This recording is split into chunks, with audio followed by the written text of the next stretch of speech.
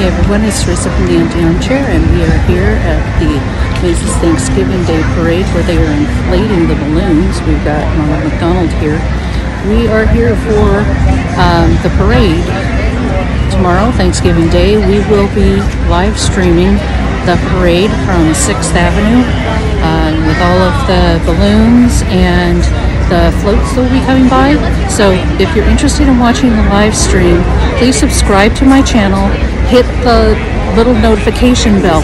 That way you'll get notified when we actually start the live stream. I'm not entirely sure when it will be, probably somewhere around 9.15 um, by the time it will hit us um, in on 6th Avenue, somewhere between 54th and 49th.